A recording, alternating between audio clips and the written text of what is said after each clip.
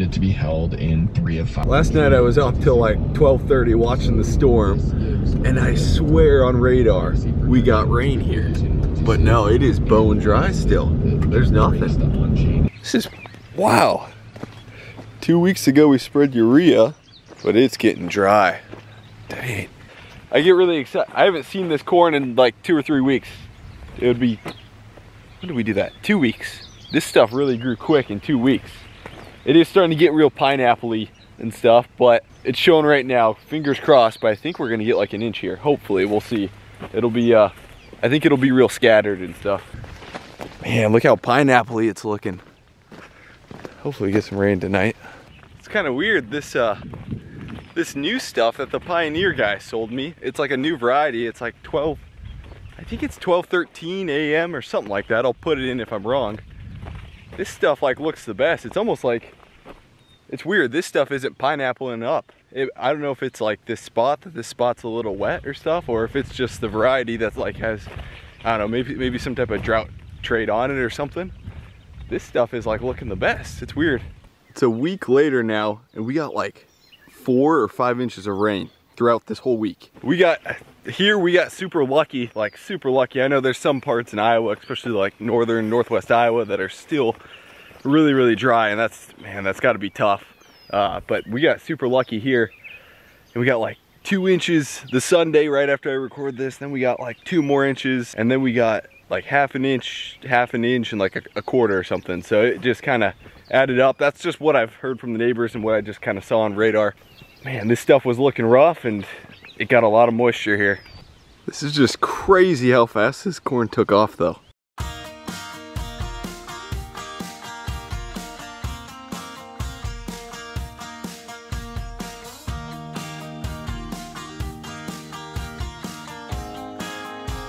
Okay, I'm at the other farm that you guys probably just saw a drone video of.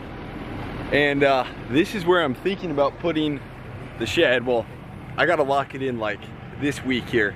And we need to start mowing down like an acre of corn and getting this building pad ready. Okay, so here's a nice driveway.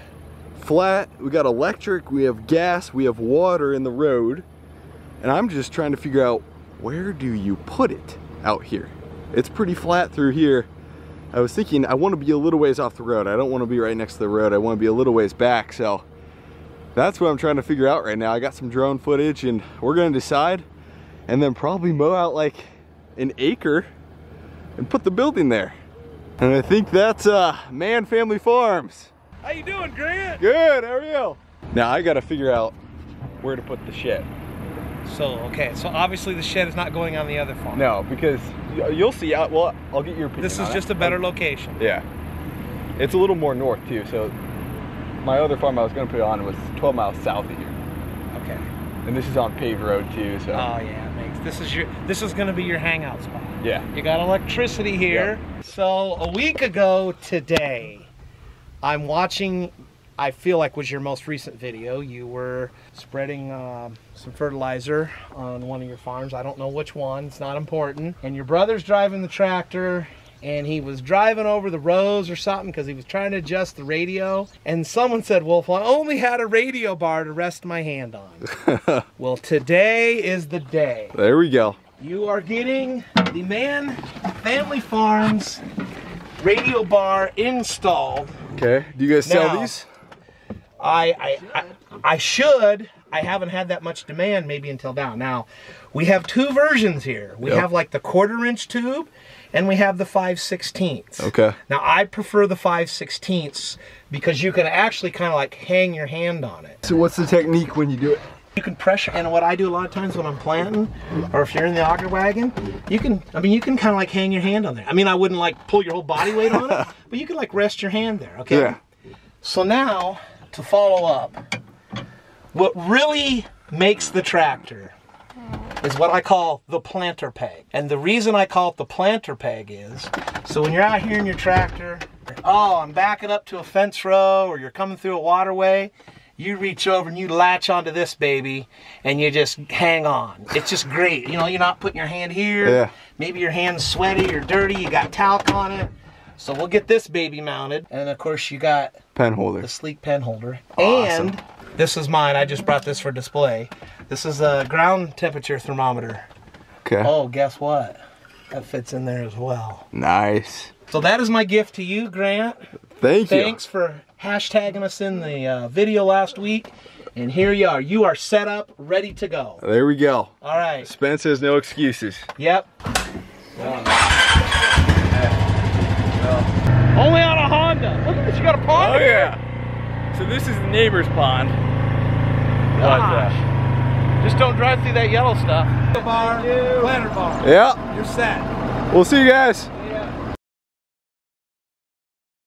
Well, today is gonna be uh, it's gonna be a fun day. Got something crazy going on. Got the helper too. Josie, have you been on the channel? Uh, not yours, not Grant Hilbert. Okay. I've been on Spencer, Spencer TV. So Josie's Spencer's girlfriend.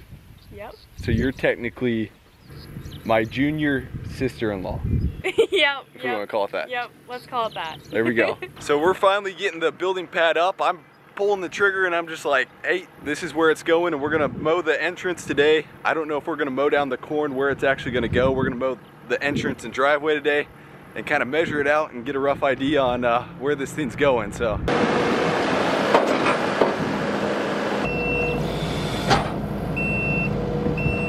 Is he gonna screw it up? Is he? Yeah. Yeah, probably. Do we just not say anything? Let's see how he does.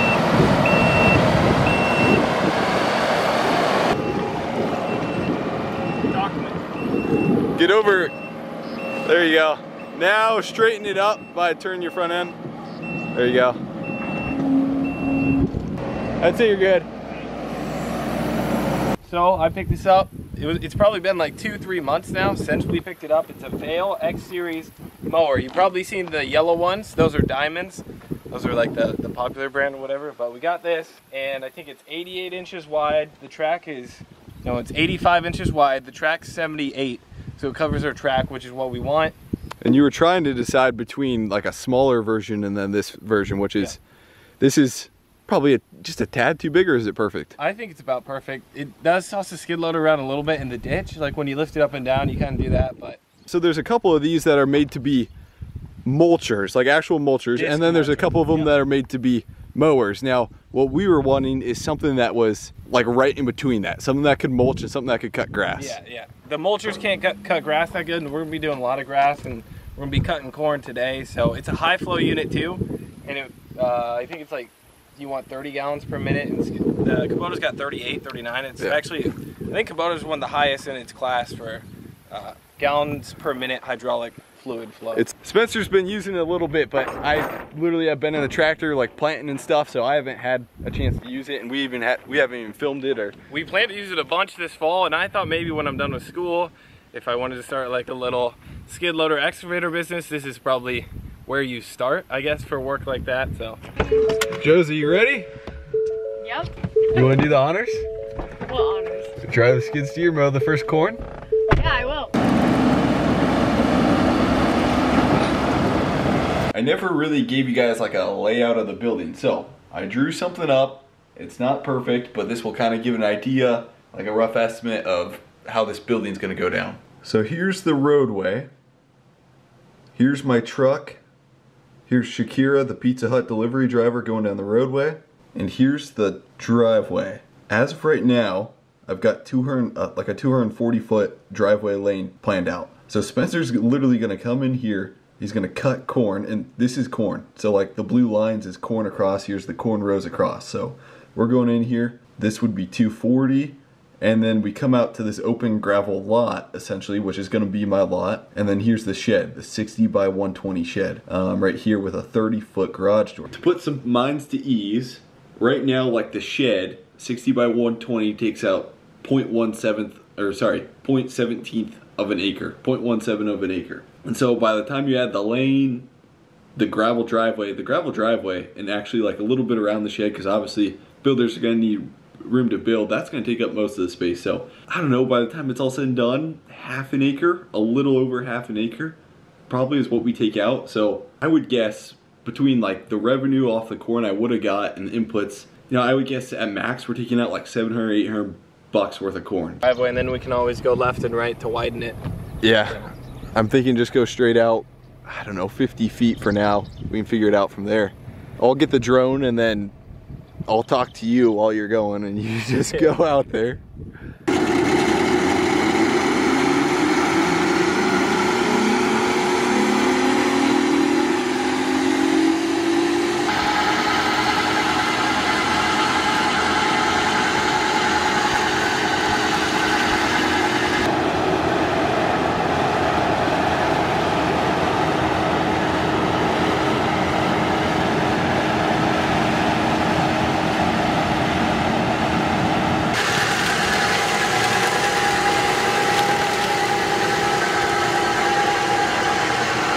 I'm gonna go nice and slow. It takes a while to eat it. It's a lot of. Remember when I'm in here, I have like no bearing of Yep. angle or. Yep, I'd say keep going straight there. Nice. A little to your left.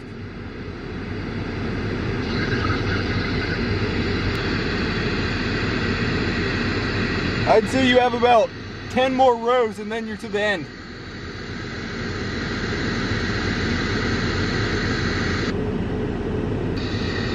And What do you then want me to do now? take a half half width or so. So I should be able to, we'll get the drone up now and I don't know, for now this is wide enough. Well, I think we'll want it wider, but for now we'll just keep it this wide in case. This, uh, this gets pretty tall. This spot right here. yeah. So I think this was a fence row. And that's why all this corn right here is tall all the way down there. In the past, it, like a couple years ago, I think this was a fence row. Okay. Because Dad and I were wondering, like, why is this corn so tall here? I think technically 60 by 120 is like 0.18 of an acre. So at max, we're gonna cut half an acre, which would be, I don't know, 500. That'd be that'd be 500 bucks revenue, essentially. Revenue or profit? revenue. Revenue. Okay. Yeah. But we lost the. So it seems like horrible that we're cutting this, but 500 bucks is a lot of money, but it's only 500 bucks revenue. it just that we're feels like take. we're like Yeah. every. At This least was the first cornfield I planted too, like Yeah. ever. first time killing it too. I know.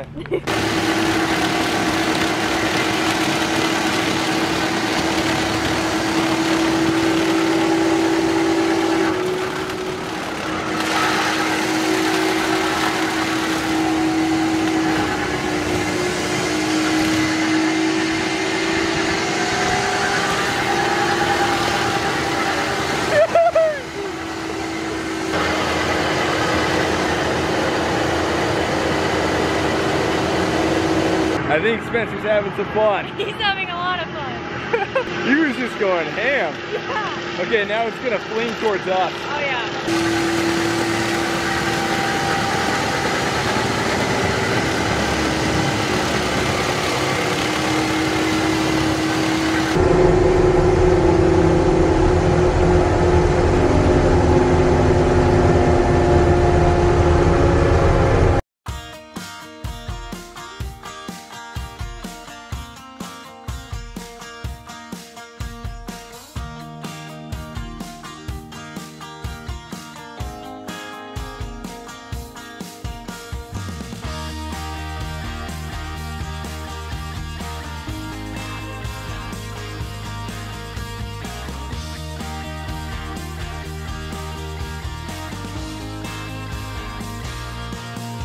We got her done.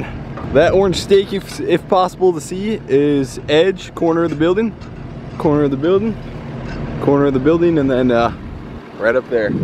It actually seems really small, but it's uh, 60 by 120, so man, I'm glad I went 60 by 120 though, because uh, it seems kind of small, doesn't it? I feel like everything looks small But once it's up, once it's up.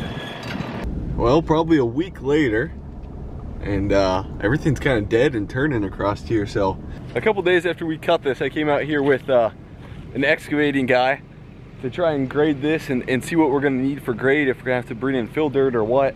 And uh, they took a look at it and they're like, you know, we don't see this that often, but this is probably like perfect, like completely level.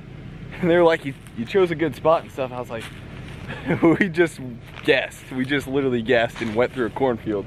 So uh, I think this spot's gonna work good. and I'm gonna talk to my builders today. My builders are coming out and they're just gonna kind of see the spot, make sure everything's good. We're gonna talk about some electric stuff. But I'm thinking I scraped this off. I don't even think we need any fill dirt or anything. And we're gonna come in and as of right now, half of it's gonna be cement. So the builder's probably gonna bring the building up like a foot already. So like this building's gonna be pretty, pretty darn tall already. So once it's built, the other 60, uh, the other 60 foot, I'm gonna go in and just put gravel kind of on the backside. Once it's built, we'll level it up. And like this building is probably gonna be up like a foot off the ground essentially. So then on the sides, we'll come back and probably add gravel along the sides and this building's gonna be pretty high as is. So that's what we're kind of thinking. I'm gonna talk to my builder today and uh, just make sure we're on the same track.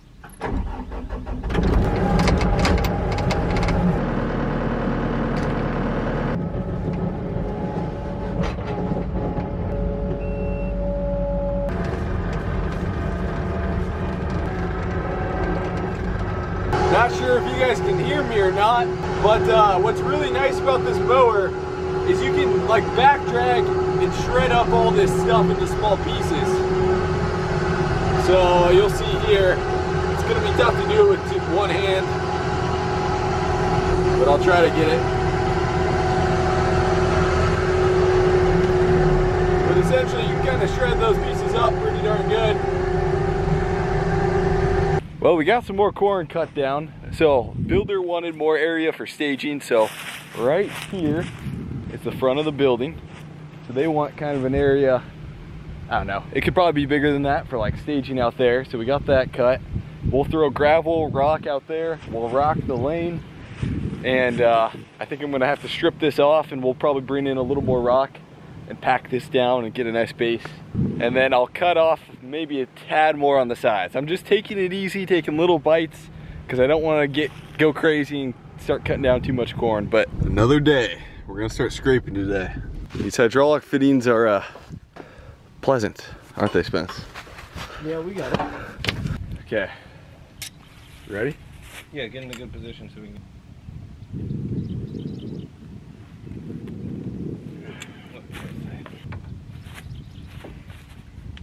Yeah! Woo! Woo! I can't believe we got it. Oh, there we go.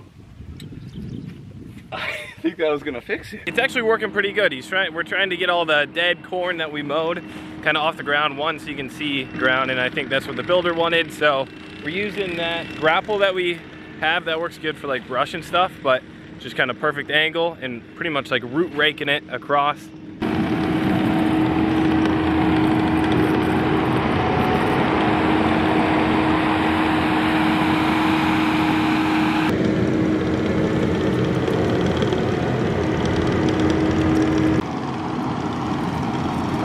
Grant's rate, I think, I think this is as good as we can get it.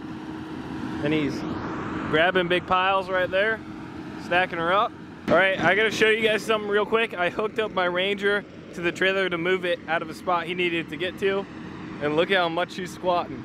So I think that trailer is like 5,500 pounds, maybe 6,000 pounds. So, you know, maybe, maybe there's a thousand pounds on my, maybe, I don't know. Maybe a little less. But she's squatting pretty good. That's a good little truck right there. We got most of this cleaned and cleared, but uh, I noticed the skid steer was smoking a bit. There's a bit of fluid coming back here. I'm not sure if it's oil. I'm not sure if it was DEF. It was going through a regen. I was like, just cancel the regen and then we shut it off. Maybe that's a thing where it was regenning, shouldn't have stopped it, even though you can cancel it. I don't know. Um, it's kind of corrosive fluid. It makes me think it's like kind of DEF back there. But uh, there's a Kubota dealership like eight miles away, so we're just gonna take it in on trailer, see what they think. It could be nothing too. Obviously there's fluid down there, you don't want that, but we'll see. We'll see what they think. We dropped the Kubota off at uh, Kubota dealership up there, and uh, mechanic's real nice and stuff, and he thinks it's DEF coming down there, which it's coming out of the top side. You can basically see where it's coming out of, and uh, it's just draining down the whole thing, so that's why it's like kind of all corroded along there, so uh, they're gonna take a look at it this afternoon and uh, it's probably gonna be like a part or two that they gotta order I would guess so we probably won't have it until next week or something luckily we got most of the corn cut so we should be good there and honestly all we gotta do is haul in some rock now and do some leveling and stuff which maybe I'll have a dozer guy come out and do that. But seriously guys, thanks for watching this video and uh, the next video is probably gonna be putting up the building, getting the driveway and the pad prepped a little more and stuff. So